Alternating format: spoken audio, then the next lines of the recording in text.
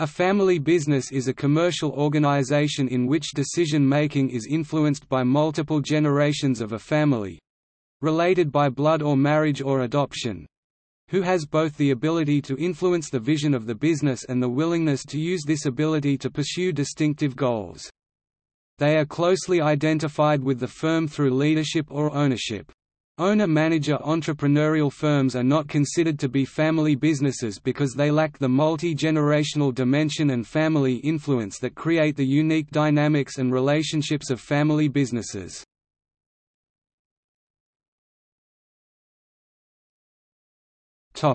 Conceptual overview Family business is the oldest and most common model of economic organization. The vast majority of businesses throughout the world—from corner shops to multinational publicly listed organizations with hundreds of thousands of employees—can be considered family businesses. Based on research of the Forbes 400 richest Americans, 44% of the Forbes 400 member fortunes were derived by being a member of or in association with a family business. The economic prevalence and importance of this kind of business are often underestimated. Throughout most of the 20th century, academics and economists were intrigued by a newer, improved model, large publicly traded companies run in an apparently rational, bureaucratic manner by well-trained organization men, entrepreneurial and family firms, with their specific management models and complicated psychological processes, often fell short by comparison. Privately owned or family-controlled enterprises are not always easy to study. In many cases, they are not subject to financial reporting requirements, and little information is made public about financial performance. Ownership may be distributed through trusts or holding companies, and family members themselves may not be fully informed about the ownership structure of their enterprise. However, as the 21st-century global economic model replaces the old industrial model, government policy makers, economists, and academics turn to entrepreneurial and family enterprises as a prime source of wealth creation and employment. In some countries, many of the largest publicly listed firms are family-owned. A firm is said to be family-owned if a person is the controlling shareholder, that is, a person rather than a state, corporation, management trust, or mutual fund can garner enough shares to assure at least 20% of the voting rights and the highest percentage of voting rights in comparison to other shareholders. Some of the world's largest family-run businesses are Walmart United States, Samsung Group Korea, and Tata Group India. The Global Family Business Index comprises the largest 500 family firms around the globe. In this index published for a first time in 2015 by Center for Family Business University of St. Gallen and EY. For a privately held firm, a firm is classified as a family firm in case a family controls more than 50% of the voting rights. For a publicly listed firm, a firm is classified as a family firm in case the family holds at least 32% of the voting rights. Family-owned businesses account for over 30% of companies with sales over $1 billion. In a family business, two or more members within the management team are drawn from the owning family. Family businesses can have owners who are not family members. Family businesses may also be managed by individuals who are not members of the family. However, family members are often involved in the operations of their family business in some capacity and, in smaller companies, usually one or more family members are the senior officers and managers. In India, many businesses that are now public companies were once family businesses. Family participation as managers and or owners of a business can strengthen the company because family members are often loyal and dedicated to the family enterprise. However, family participation as managers and or owners of a business can present unique problems because the dynamics of the family system and the dynamics of the business systems are often not in balance.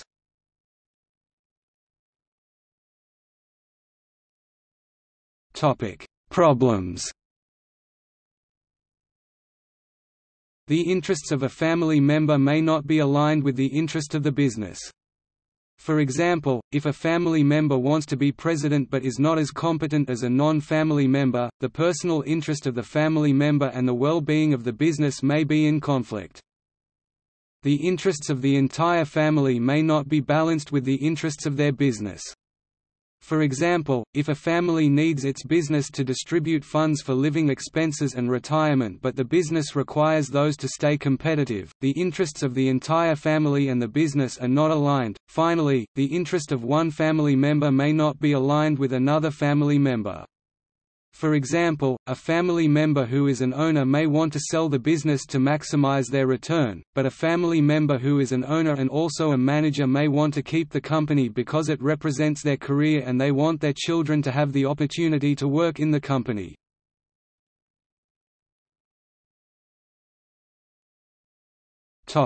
The Three Circles model The challenge for business families is that family, ownership and business roles involve different and sometimes conflicting values, goals, and actions. For example, family members put a high priority on emotional capital—the family success that unites them through consecutive generations. Executives in the business are concerned about strategy and social capital—the reputation of their firm in the marketplace. Owners are interested in financial capital, Performance in terms of wealth creation, a three circles model is often used to show the three principal roles in a family-owned or controlled organization, family, ownership and management. This model shows how the roles may overlap. Everyone in the family in all generations obviously belongs to the family circle, but some family members will never own shares in the family business, or ever work there.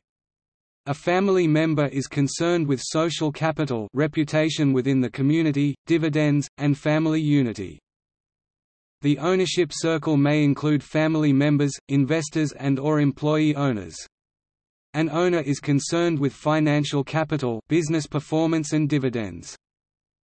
The management circle typically includes non-family members who are employed by the family business.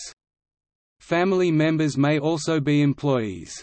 An employee is concerned with social capital reputation, emotional capital career opportunities, bonuses and fair performance measures. A few people—for example, the founder or a senior family member—may hold all three roles, family member, owner and employee. These individuals are intensely connected to the family business, and concerned with any or all of the above sources of value creation.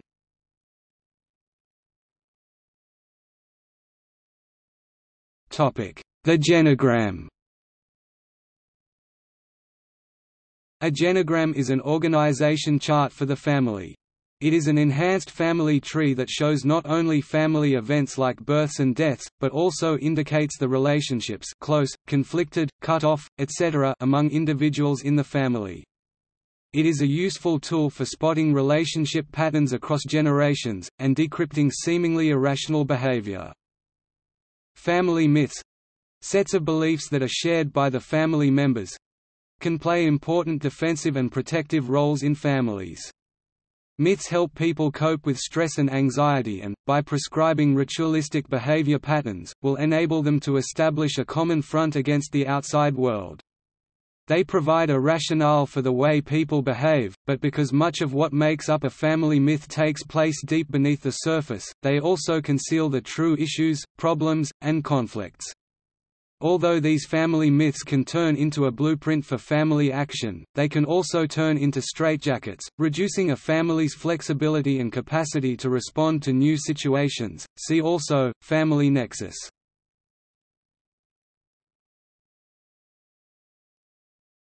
Topic: Parallel planning processes. All businesses require planning, but business families face the additional planning task of balancing family and business demands. There are five critical issues where the needs of the family and the demands of the business overlap and require parallel planning action to ensure that business success does not create a family or business disaster. Capital How are the firm's financial resources allocated between different and family demands? control who has decision-making power in the family and firm. Careers How are individuals selected for senior leadership and governance positions in the firm or family? Conflict How do we prevent this natural element of human relationships from becoming the default pattern of interaction?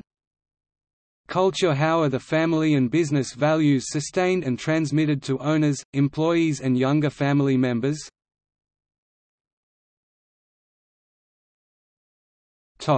Fair process Fairness is a fundamental issue in family business decision-making. Solutions that are perceived as fair by the family and business stakeholders are more likely to be accepted and supported. Fair process helps create organizational justice by engaging family members, whether as owners and employees, in a series of practical steps to address and resolve critical issues. Fair process lays a foundation for continued family participation over generations.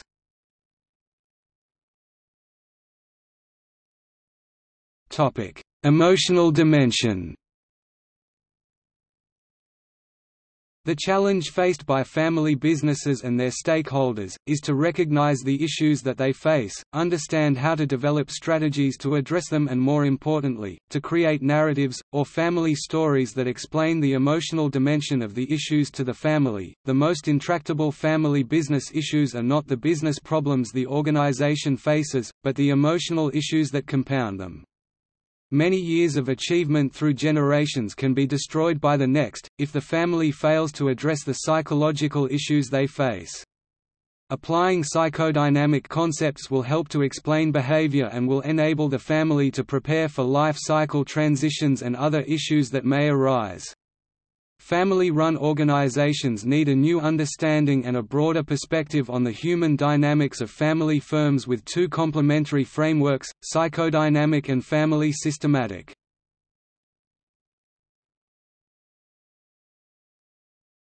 Structuring When the family business is basically owned and operated by one person, that person usually does the necessary balancing automatically. For example, the founder may decide the business needs to build a new plant and take less money out of the business for a period so the business can accumulate cash needed to expand. In making this decision, the founder is balancing his personal interests taking cash out with the needs of the business expansion. Most first-generation owner-managers make the majority of the decisions. When the second generation sibling partnership is in control, the decision-making becomes more consultative. When the larger third generation cousin consortium is in control, the decision-making becomes more consensual, the family members often take a vote. In this manner, the decision-making throughout generations becomes more rational. The assets that are owned by the family, in most family businesses, are hard to separate from the assets that belong to the business.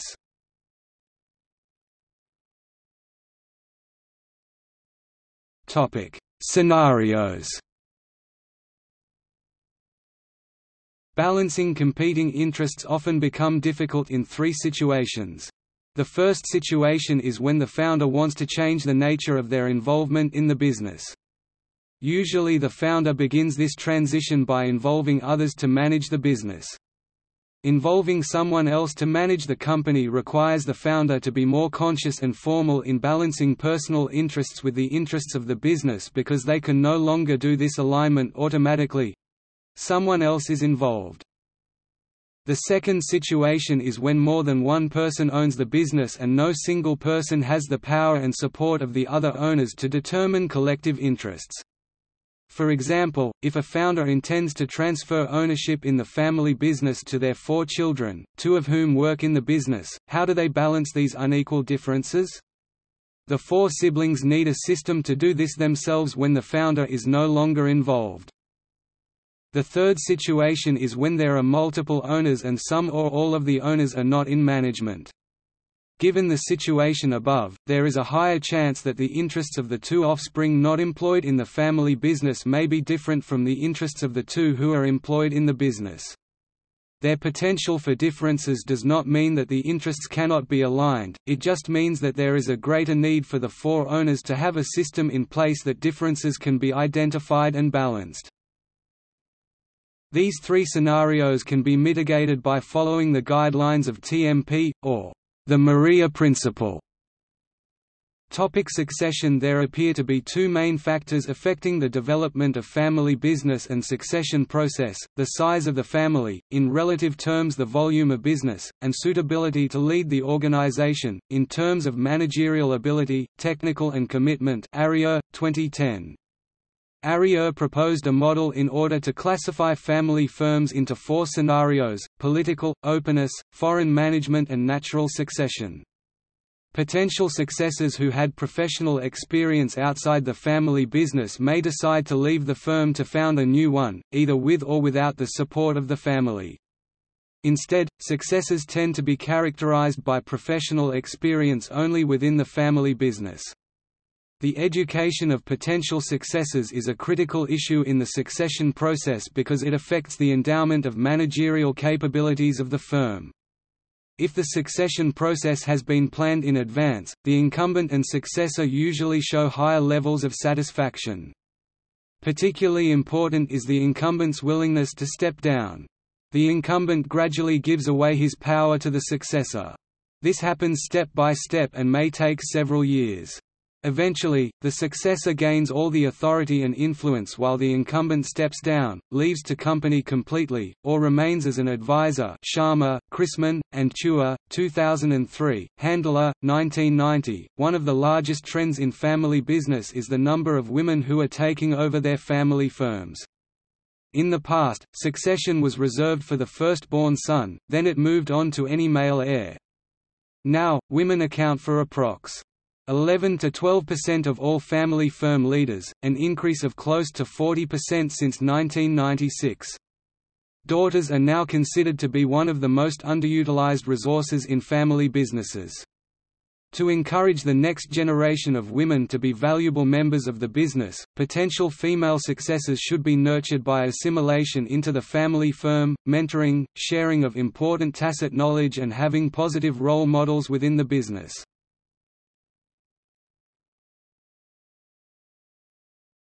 Topic: Success. Successfully balancing the differing interests of family members and or the interests of one or more family members on the one hand and the interests of the business on the other hand require the people involved to have the competencies, character and commitment to do this work. Family-owned companies present special challenges to those who run them. They can be quirky, developing unique cultures and procedures as they grow and mature. That is fine, as long as they continue to be managed by people who are steeped in the traditions, or at least able to adapt to them. Often family members can benefit from involving more than one professional advisor, each having the particular skill set needed by the family. Some of the skill sets that might be needed include communication, conflict resolution, family systems, finance, legal, accounting, insurance, investing, leadership development, management development, and strategic planning. Ownership in a family business will also show maturity of the business. If all the shares rest with one individual, a family business is still in its infant stage, even if the revenue is strong.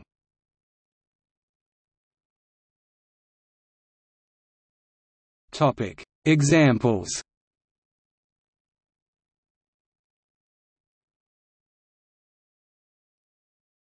Topic: See also. Bamboo network. Nepotism. Palace economy